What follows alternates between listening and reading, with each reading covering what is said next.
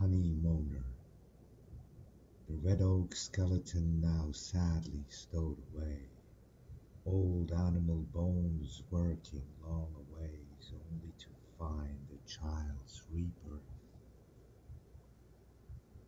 East Asians, hesitant believers, repopulating ancient lands full feared approach to spiritual reluctance. Real suffering roots in innocence, not guilt.